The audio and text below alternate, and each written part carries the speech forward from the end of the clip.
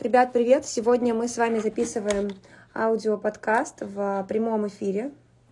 И аудиоподкаст — это такие аудио штучки. Нажми, пожалуйста.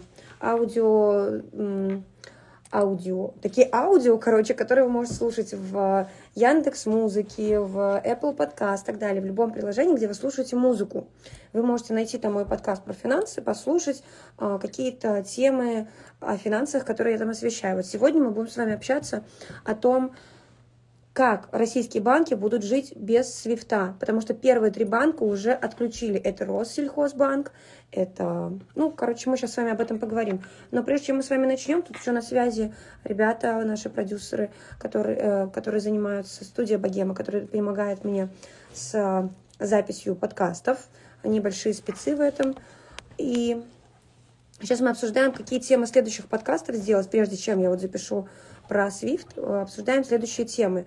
Поэтому вы тут с нами, если что, э, подслушиваете и можете нам подкидывать свои идейки по темам. Слушайте, сейчас мы будем вам комментировать, ну, вернее, говорить, а вы можете вставлять свои комментарии.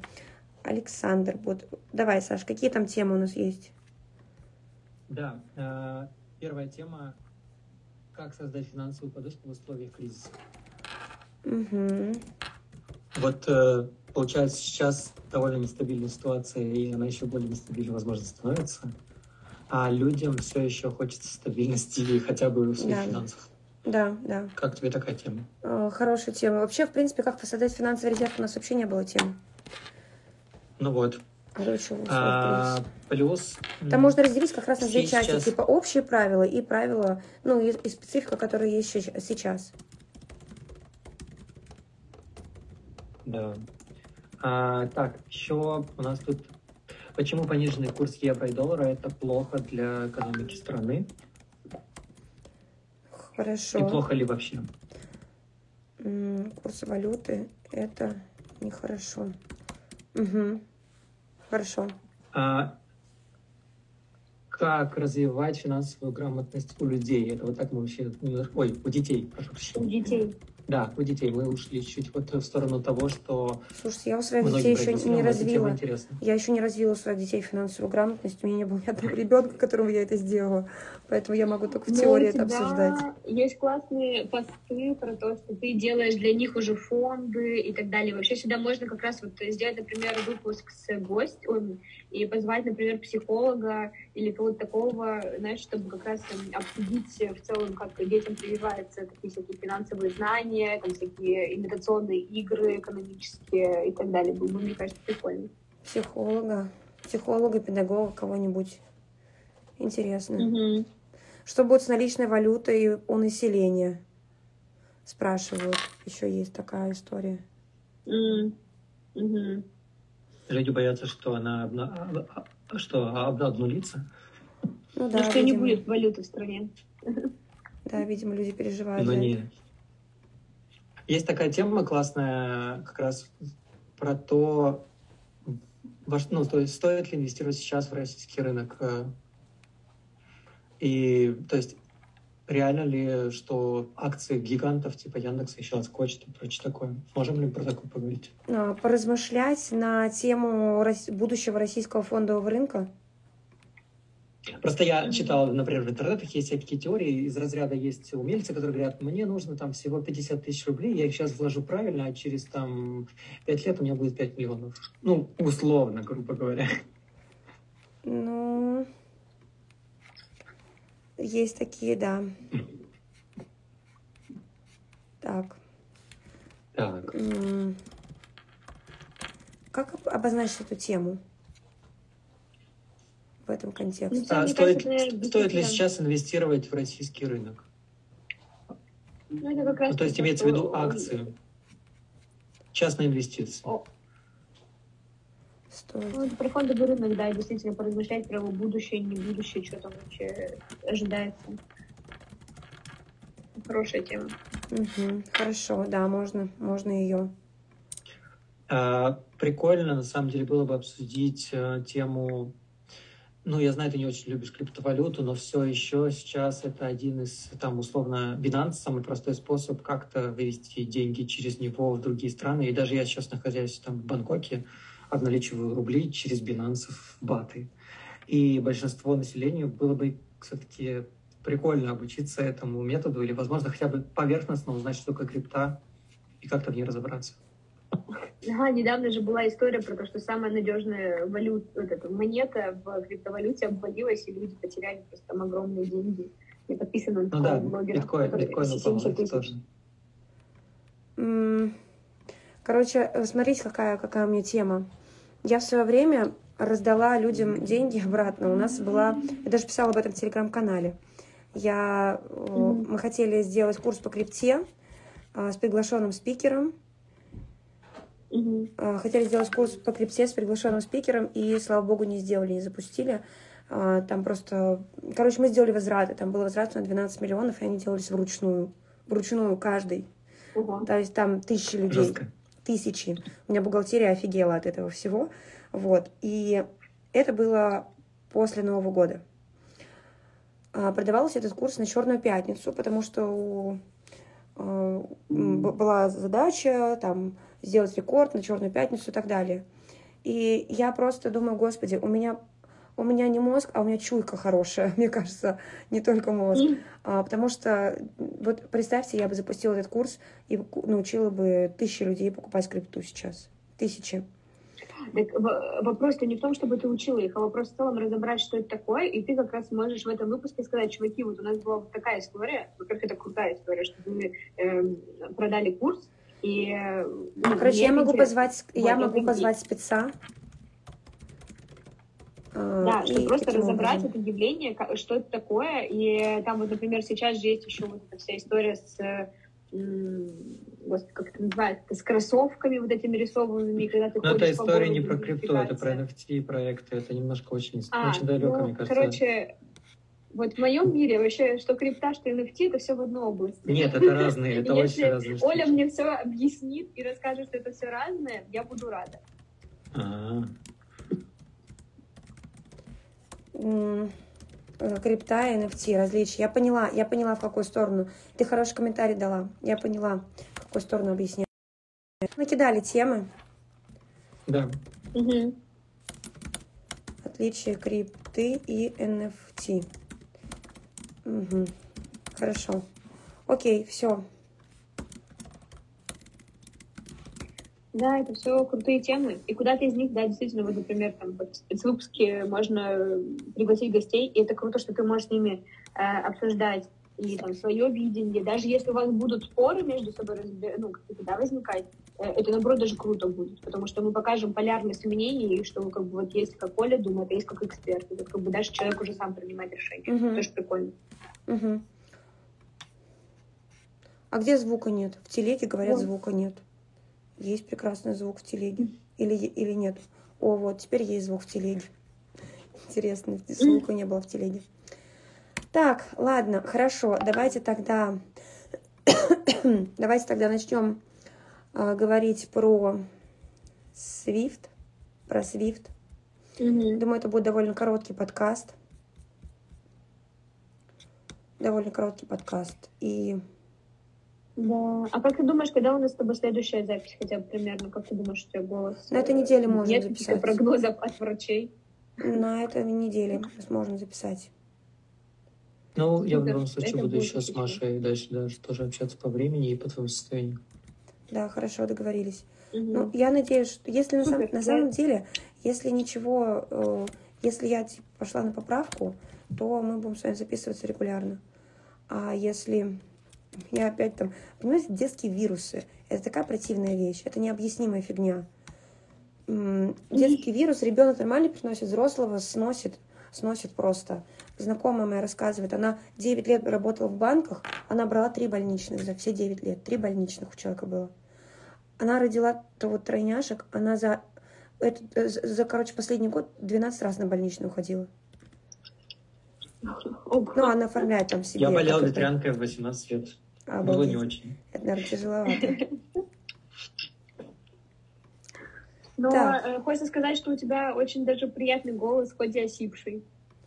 Так что, возможно, сейчас все слушатели такие, мы хотим теперь только такую Олю слушать. Да, я могу так вот с людьми говорить загадочно.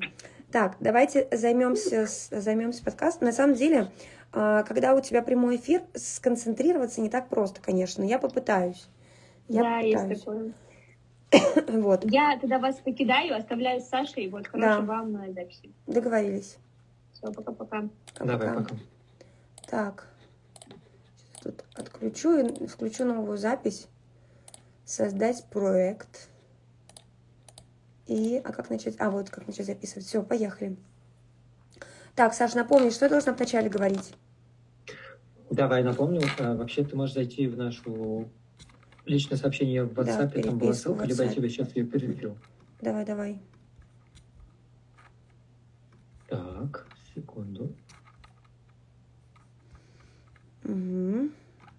Ребят, я Пошла? напомню вам еще раз, что мы с вами сейчас будем обсуждать, как российские банки будут жить без свифта. Мгм. А, смотри, а можешь выключить уведомления, потому что тебе можно писать во время записи, это будет из записи. Блин, я могу только аудио, я могу только... Так, сейчас, сейчас, сейчас. Сейчас, сейчас, сейчас. Настройки, уведомления, звуки. Звуки. Всё. Супер. Отлично. Я не знала, как это отключать, только что научилась. Так, все, давайте будем начинать. Ребят, тему. А У тебя Как? там э, микрофон настроен, все правильно Да, выставлено? Все Да. супер. жить.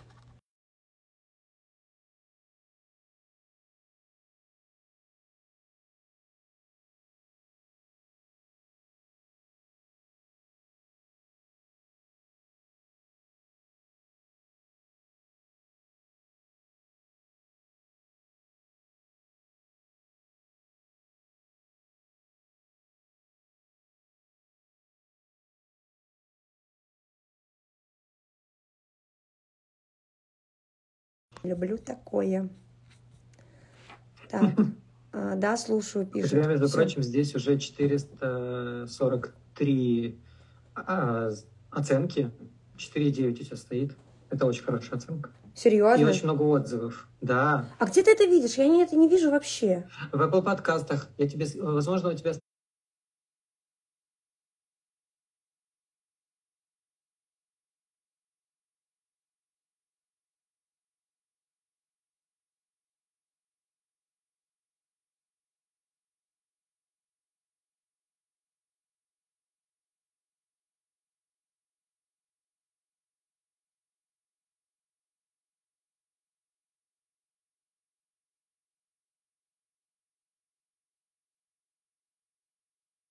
стоит другой регион, но я тебе еще раз скину ссылочку.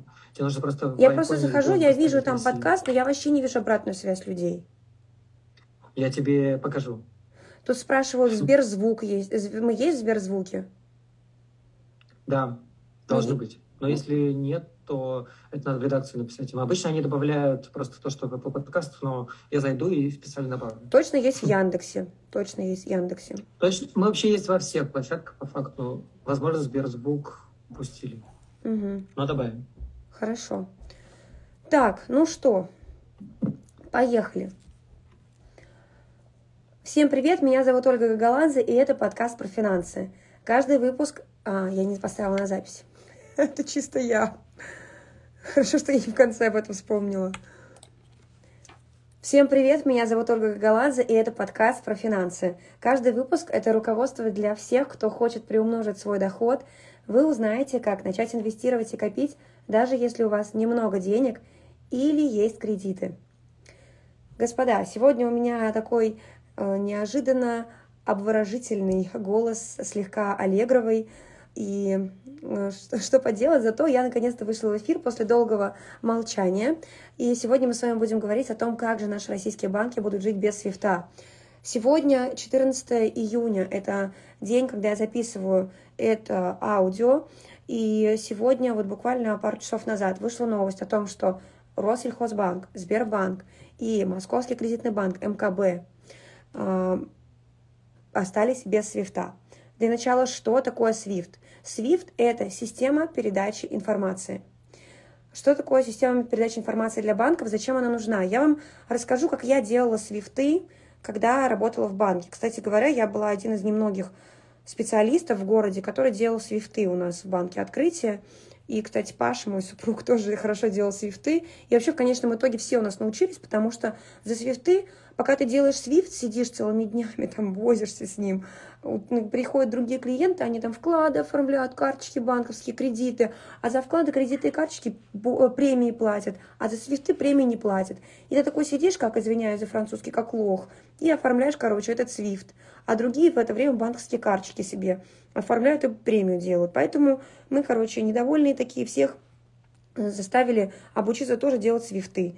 И теперь свифты у нас принимались по очереди, а не так, что мы не умеем, идите там к Паше Гагаладзе, Коле Столеровой. Так вот, а, что это такое? Ко мне приходит клиент, он кладет деньги на счет. Я беру от него реквизиты э, банка и место, куда нужно все это дело отправить. Обязательно туда прикладываются договор, на основании которого делается перевод зарубежный. То есть SWIFT, во-первых, нужен для зарубежных переводов. Так вот, надеюсь, что вырежут. Так вот, переводы. Попробуй, пожалуйста, попробуй, пожалуйста, не крутить головой, потому что звук очень сильно будет меняться. Смотри в микрофончик лучше. Спасибо. Сейчас. Хорошо.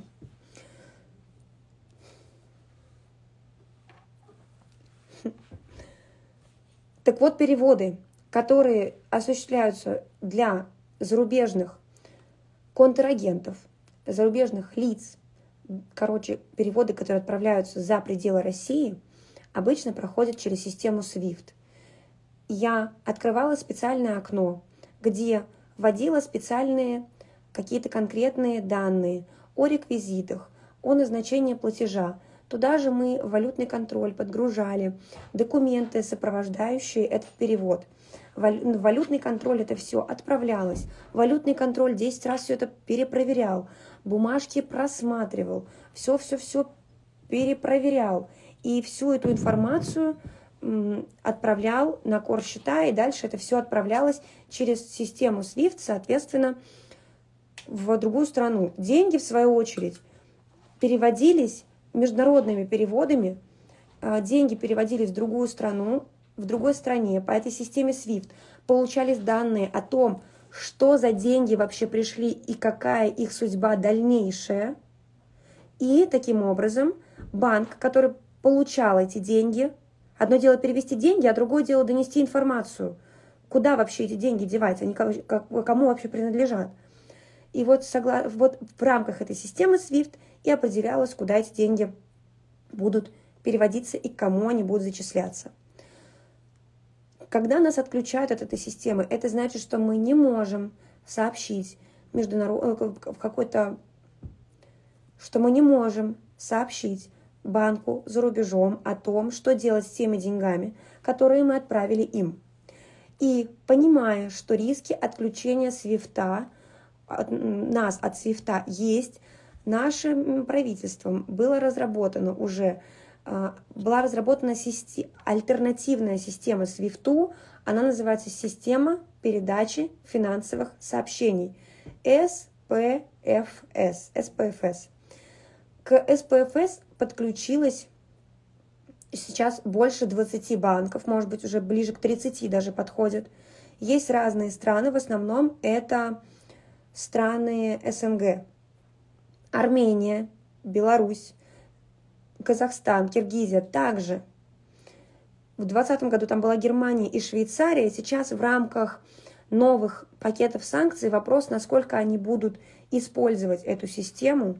Кто знает, может будут, потому что э, Европа, несмотря на санкции, которые накладывались на Иран, замечательным образом, замечательным образом, господа, обмениваются с Ираном платежной информацией посредством своей системы, которую тоже они создали. Просто вдумайтесь, Иран находился под санкциями, и Европа специально для Ирана создала альтернативу Свифту, потому что нужно какие-то расчеты делать. Все-таки Иран один из крупнейших поставщиков тоже энергоносителей. И банки, которые отключены от свифта, не могут делать международные переводы. Это может сказаться на работе, на клиентах, которые, у которых счета в этих банках. Но у нас сейчас есть другие банки, и можно пользоваться свифтами в других банках. Внутри России мы, скорее всего, будем пользоваться своими внутренними системами. На рубли э, как-то это не... Отключение свифта никак не скажется на э, работе с рублями, но на работе с валютой, и под валютой я подразумеваю не только доллары и евро, но и другую валюту, на работе с, даже с рублями, которые переводятся за рубеж, это может сказаться. Короче, из Россельхозбанка, из э, Короче, из Россельхозбанка, из Сбер, из МКБ деньги за рубеж не перевести. Это первое. Второе. Это может сказаться на выручке этих банков и на работе этих банков, и на устойчивость. Ну, устойчивость вряд ли, потому что у нас есть такая вещь, как системообразующие банки. Системообразующие банки будут спасать в первую очередь, и вы, я бы на вашем месте вам рекомендовала изучить список системообразующих банков, а не пойти ли мне прямо сейчас не выложить пост в свою запрещенную соцсеть и в телеграм-канал с информацией про системообразующие банки. Пожалуй, я так и сделаю. Есть системообразующие банки России, и что бы с ними ни происходило, свифты, не свифты, их государство будет поддерживать. Также есть такие же системообразующие банки в мире. Это Financial Stability Board. Про него тоже напишу в посте. Эм, и эти банки, которые влияют на международную систему финансовую, их тоже в любом случае будут спасать. Например, Ситибанк так спасали в 2008 году, его залили государственным капиталом. Если посмотреть на динамику акций Ситибанка, вы увидите, что в 2008 году акции обвалились, и так они и не выросли, потому что его декапитализировало государство, и так он до сих пор, он хоть и частный банк, но спасло его государство и живут они за счет государственных средств, можно сказать. Ну, не сейчас, а тогда выжили за счет этого. Но мы с вами отошли от темы. То есть с банками ничего страшного не произойдет. Для валютных переводов вы будете использовать другие банки, если их тоже не отключат от свифта. Банки Ирана отключены от свифта давным-давно. Тут э, параллельно я вижу сразу вопрос, будут ли спасать Тиньков. Да, Тиньков входит в список системообразующих банков. Банки Ирана давно находятся под ограничениями с точки зрения свифта, и я вам расскажу забавную историю, которую уже выкладывала в телеграм-канал, увидела ее на YouTube-канале редакции.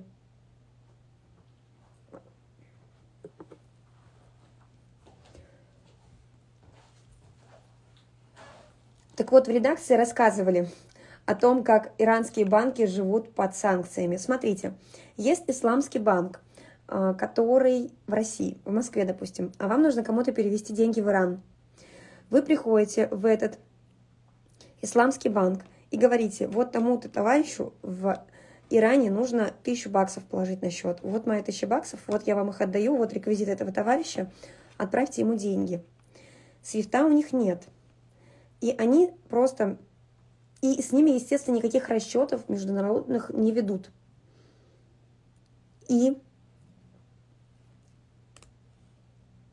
два этих банка, общаясь чуть ли между собой, чуть ли там не по электронной почте, что-то типа такого, отправляют данные о том, что такой-то чувак пришел, ему нужно внести деньги на счет вот другому человеку, а, и они зачисляют тому человеку на карточку, баланс пополняется. А сама валюта, вот эти вот тысяча долларов, их кладут в чемоданчики и раз в месяц возят в Иран, ну, не раз в месяц, там, то есть с определенной периодичностью возят в Иран, и вот такие вот образом переводятся, таким образом переводится валюта в Иран. И в Иране из-за вот этой вот всей, всех ограничений есть разные валютные курсы для разных целей, а, есть ограничения на покупку валюты 2000 долларов в одни руки, но там можно находить ходы и выходы. различные. Поэтому, что я вам могу сказать? Выходы найдем. Без свифта туго, извиняюсь за, надеюсь, мои слова не будут пророческими, туго, бедно, но проживем. Надеюсь, что не бедно, надеюсь, что наши что-то придумают э, с точки зрения того, что система передачи финансовых сообщений еще далеко не всеми ратифицированы. Самое главное, чтобы нам было комфортно работать с Китаем, переводить Китаю. Ну, потому что, например, если даже сам, тот же самый, любая страна, то есть тут вопрос не в том, как переводить в Европу, а вся, весь мир обменивается финансовой информацией через SWIFT.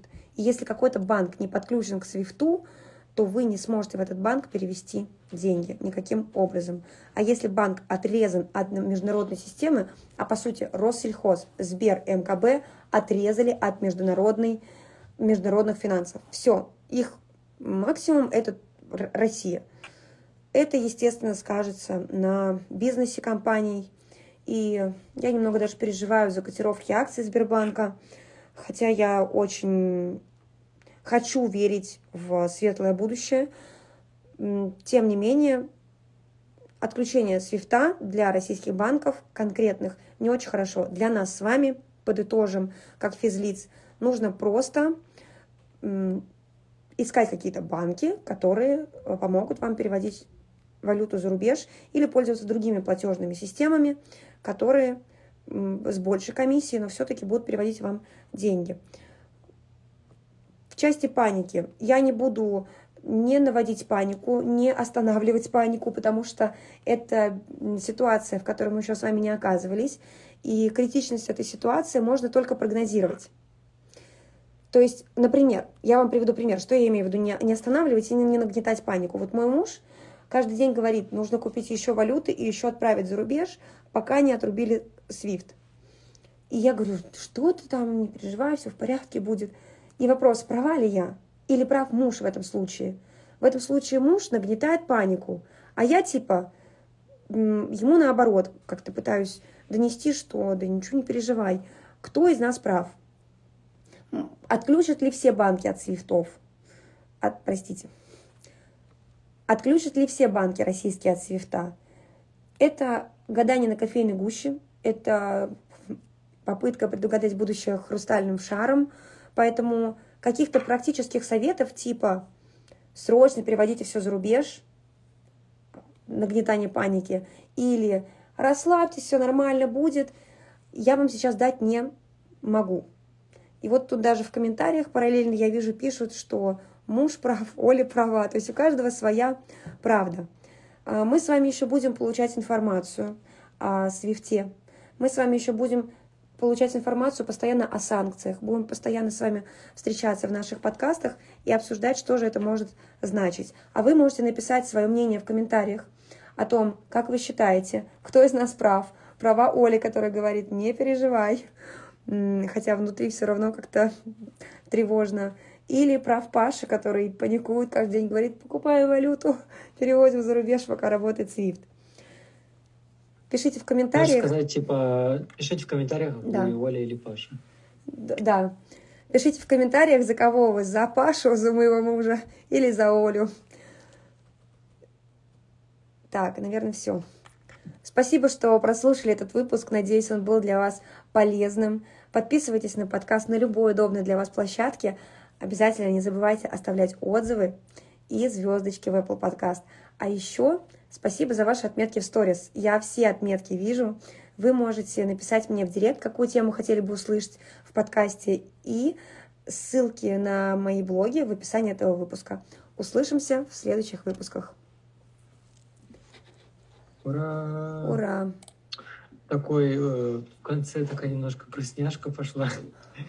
Но, но в целом хорошо. В целом, да. Больше вопросов, чем ответов после этого подкаста. А можешь, пожалуйста, остановить как-то так, чтобы, чтобы я все не сломала? Квадратик? Какой? Вот этот вот? Да. Если я нажму, не, не пропадет не все? пропадет. Все, теперь? Так. Теперь давай ты сам. Хорошо. Для простых граждан роли не играет. Ну как не играет? Вам чем без рубеж нужно перевести и все, и, и, и Спрашивают снова, где искать мои подкасты. В Apple подкасты, Яндекс Музыки и во всех остальных площадках. Вот, я пойду лечить В Google подкастах можно и в еще. Google подкастах. Так. Мне просто, Когда вот смотрите, пишут, мне просто нужна возможность переводить деньги в Южную Корею, оплачивать обучение ребенка. Если вам просто нужно искать банк, у которого есть, э, которого не отключили от SWIFT. А если всех отключат, то не будет возможности, если банки Южной Кореи не подключатся к нашей системе а, платежей, у нас не будет возможности оплачивать обучение в Корее. Вот чтобы вы понимали. Можно ли перевести в Казахстан без свифта? А, К системе наших обмена финансовой информацией, то вы переведете в Казахстан. А если не подключен, то через банк не переведете, нужно будет там какую-то золотую корону, еще что-нибудь искать. Вот таким вот образом. Хороший вопрос, кстати, о том, а золотая корона как будет переводить деньги. То есть насколько золотая корона подвязана на э, SWIFT. Это, нужно, это вопрос, который нужно будет мне изучить. Вот. Ну что, наверное, на этом будем заканчивать.